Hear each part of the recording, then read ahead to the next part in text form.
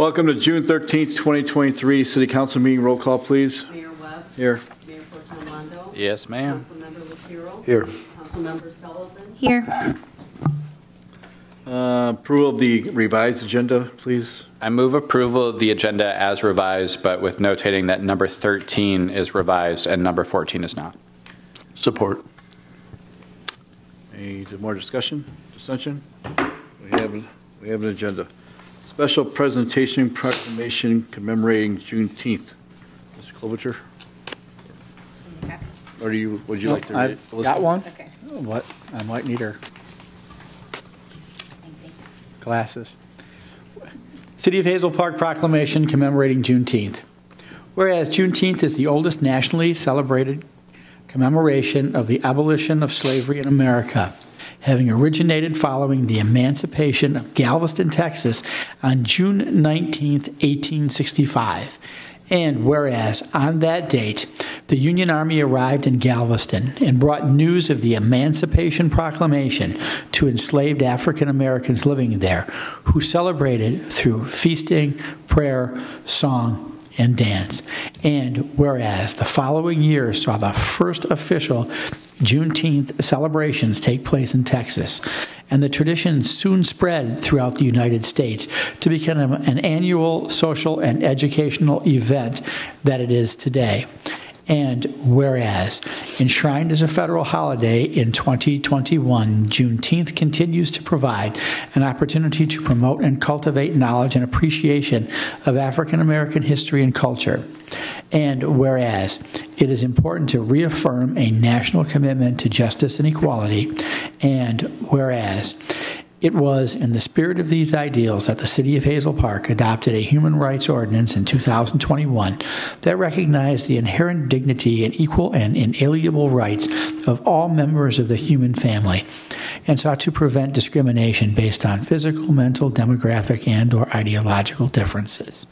Now therefore be it resolved that the City Council of Hazel Park does hereby commemorate June 19th, 2023, as Juneteenth and calls on individuals and organizations to condemn all forms of prejudice and celebrate our treasured ideals of liberty and equality. Furthermore, in recognition of Juneteenth 2023, there will be a flag raising ceremony on Monday, June 19th at 12 p.m. at the Salute to Heroes Memorial Courtyard, located at the Hazel Park City Hall. So move. Uh, Open to civic announcements. Any civic announcements from the public? Any civic announcements from the city council? Flag raising ceremony, Monday, 12 noon, at the Salute to Heroes Memorial, Hazel Park City Hall. 12 Be noon. out of town. Okay, When? Monday? Monday, June 19th. June 19th. 12 o'clock. Yeah. I'll be there. Just stop by if you're in town. I know uh, Yeah. Andy LeCureux is out of town. If I get out of the shop. The, the, um, the Hazel Park Arts Council is um, participating in um, a, uh, sorry, we've created um, a scholarship opportunity through the Hazel Park Arts Council in celebration of Juneteenth. Um, applications will be available on the uh, website, which is www.hpart.org. And um, it's open to all Ferndale and Hazel Park enrolled high school students, uh, juniors and seniors.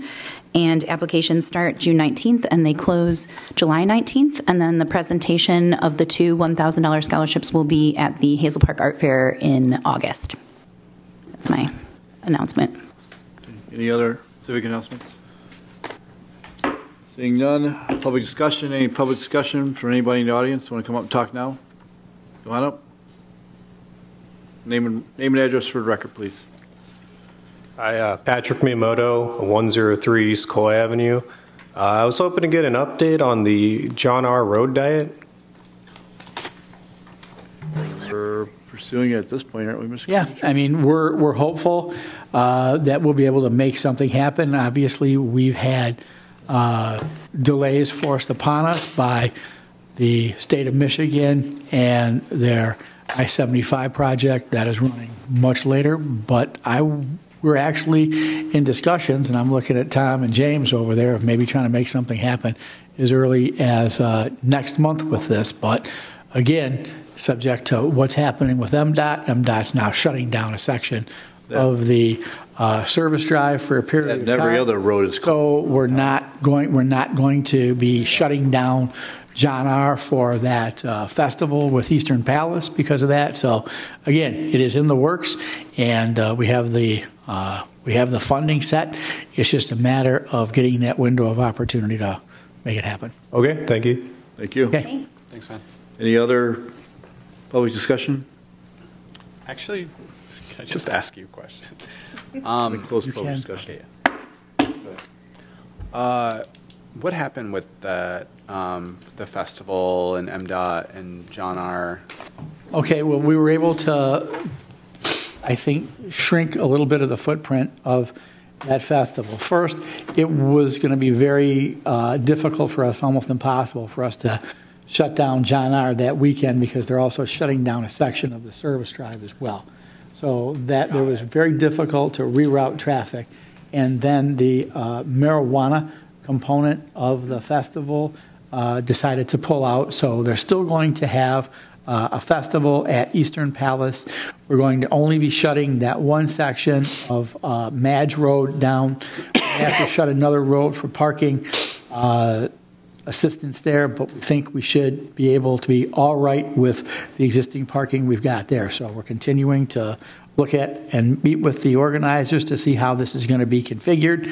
But that's the update for the community in a nutshell. Thank you for asking that question. Uh, I forgot to write that down as part of my comments to update the city, but uh, it's going to be a little smaller footprint, which will, you know, again, facilitate traffic because, you know, unfortunately, Woodward is under construction. Yeah, I don't- Dequindre was under construction. I think they've uh, sped through that uh, Eight rather miles down to quickly. one lane. Eight mile is down to one lane. It With re- the service drive being closed, well, it's just, it- there's, gotta be John right, uh, right, again, and this is why it's, it's very difficult for us uh, to get that, that window to make this happen, and we want to make it happen so we don't lose the funding that we've got, so, uh, again, and I'm hopeful that, it- you know, when we do it, there'll be widespread public support for the initiative. Yep. Any other comments? All right, moves us to uh, approval approval of the consent agenda 1 through 16. Need a motion to do that? Move approval of the consent agenda, items 1 through 16, and I'm particularly excited about the renderings uh, from consent agenda number 9. Okay. Support. Support. Now we can have discussion on number nine. You want to talk about it?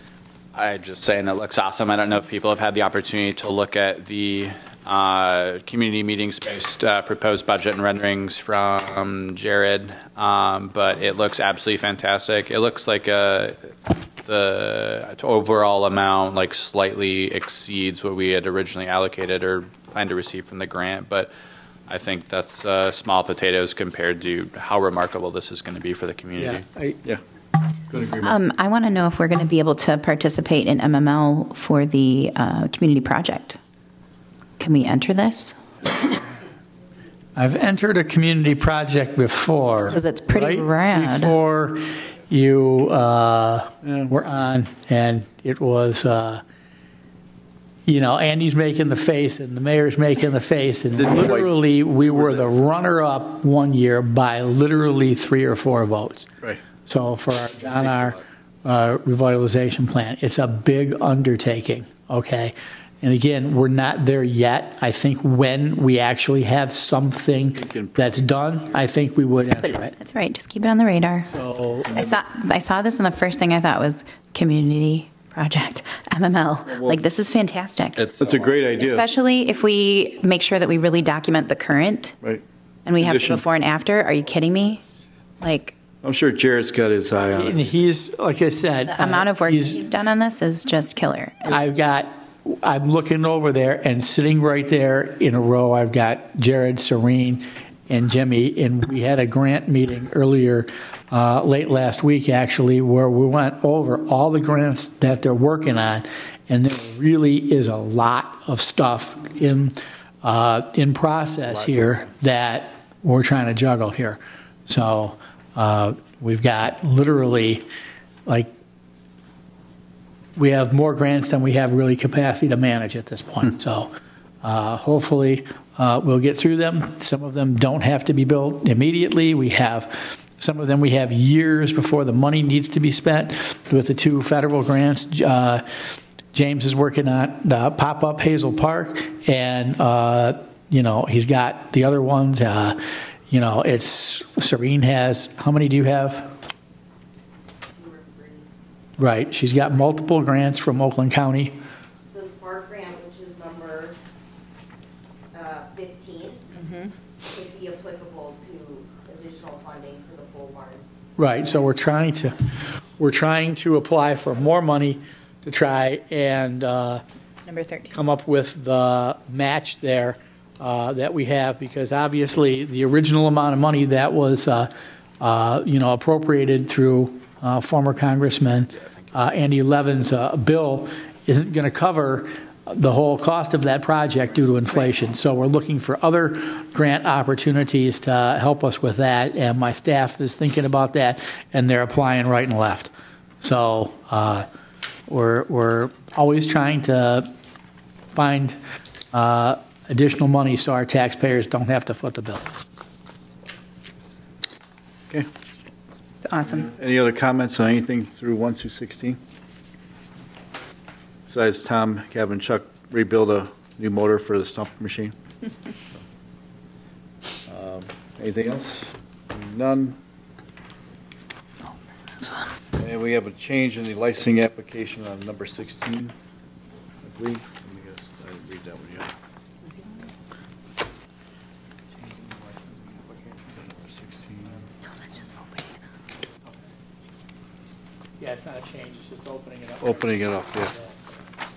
So it can, okay. All right. Motion's had, support, any more discussion, dissension? All 16 goes. Mm-hmm. Okay, Goes to administrative reports, seeing none, unless the administration wants to bring something up. No, old boards, commissions, I'll make the appointment of Sharon Abramsky and Brian Lane to the Main Street Hazel Park.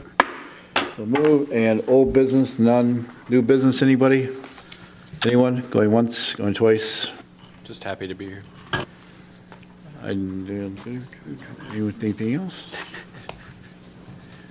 I'd like to uh, see if we can talk to DDA about, well, next time we have the meeting, about getting a DDA lot south end of town, if it's feasible. We'll take a look and see if we can find maybe a small piece of property to balance the scales of DDA lots throughout our city so we can have better business avenues and walkable areas. We can look For at that, parking. see we got. Okay? And communications from the department heads. Any department heads wishing to talk, bring up anything, seeing none? Uh, Motion, communications from city attorney. Amanda, No, thank you. Thank you for coming. City manager, Again, Michigan System of Municipal Finance, although it's fundamentally broken, we are doing the best that we can uh, to make sure that we're providing services to our residents. I had a chance to speak with, uh, you know, uh, the city manager of uh, Berkley, and, uh, you know, they unfortunately attempted to do a Headlee override, and it failed, and that's going to have serious uh, financial consequences for that city. So, uh, Yep. you know, so $300,000 Was. shortage. it, uh, they're going to have to make some cuts there again because the I, I keep saying this and everyone thinks that you know I'm I- I'm like a broken record and it'll probably be on my tombstone, but the whole system is broken. It doesn't provide adequate funding for any city. Uh, Berkley's obviously a little richer per capita than we are, and they're struggling. So we made the decisions we made, and thankfully the residents backed us up and passed what we asked them to pass several years ago so that we could have adequate funding. And even again with that, it's always difficult to try and make ends meet every year. So Uh, These grants are not general fund monies. They're used for specific things, and they have to be used for specific things. And the city council has no authority whatsoever to reallocate that money for any other purpose.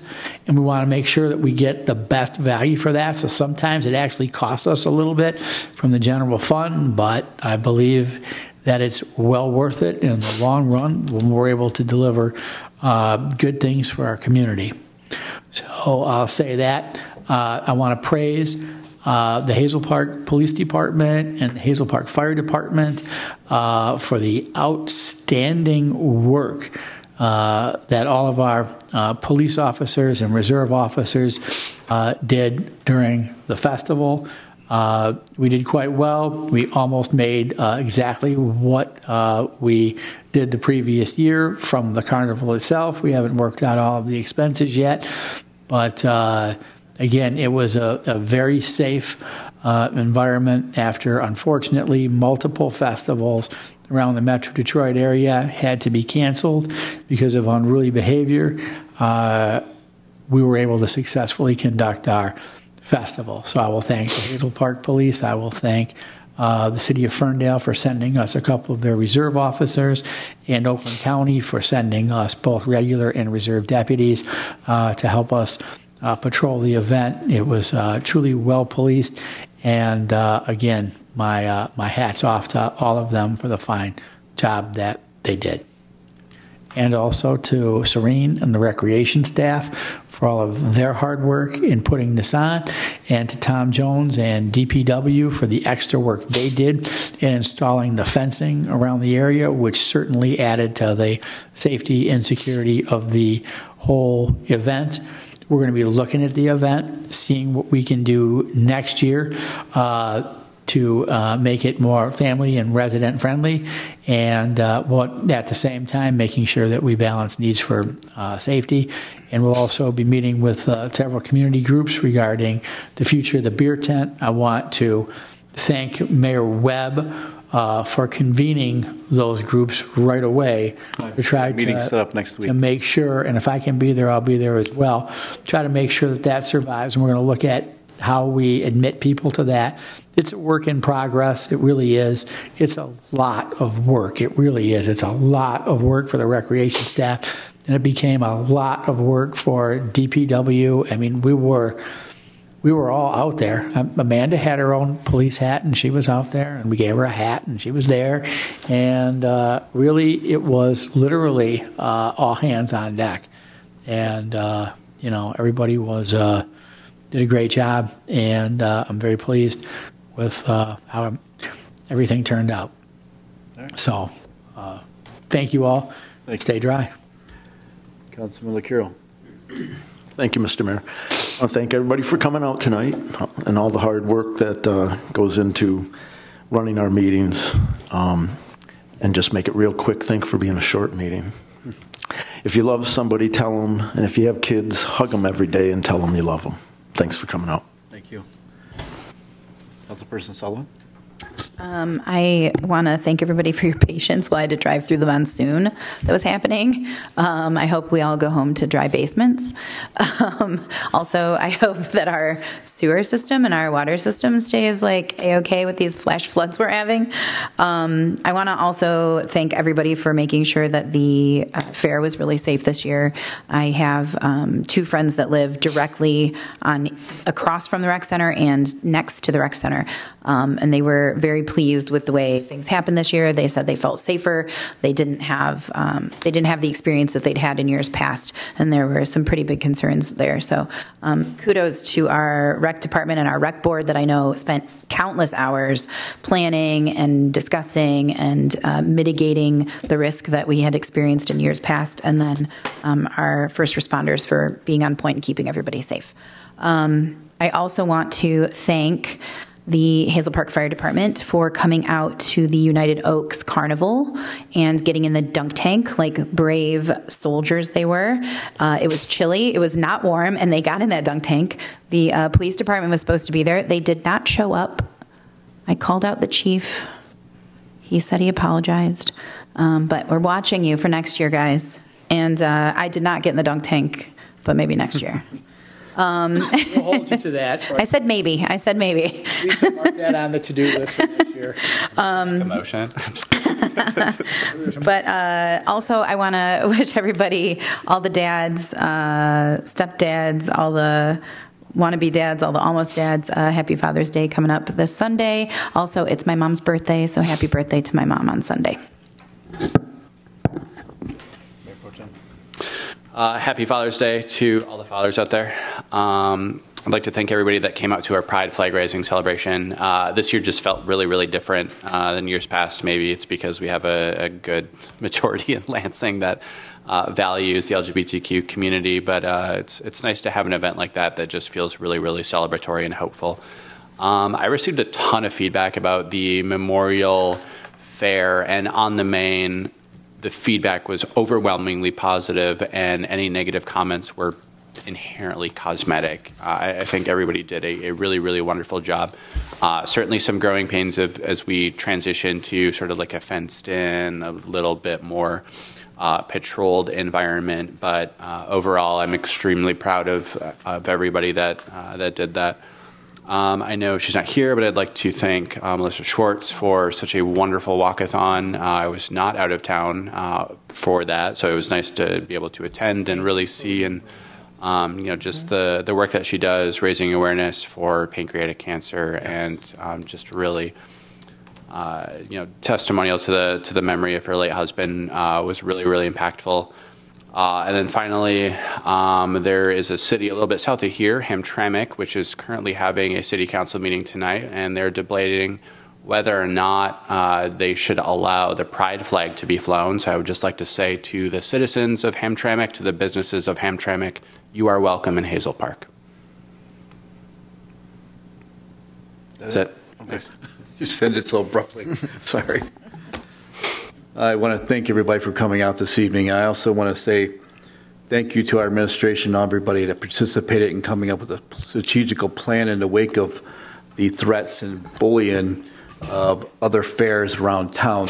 And I think that we stand tall and show our strength for being very motivated and protecting our residents by coming up with a very constructive plan and working it out and making it the safest it's ever been, I feel. We have a lot of great comments from everybody. They felt wonderfully, thought about it. Every walk through, everybody had fun. You can see the smiles on every kid's face there. It was working out great. And I'd like to say thank you for all our staff members, police department, fire department, and everyone else involved for their participation in putting together that plan. We had several conversations, uh, city manager and a couple, and Tom Jones and a couple of us over that whole thing as well. And uh, take a motion to adjourn. Motion to adjourn. Second. Thank you for coming out.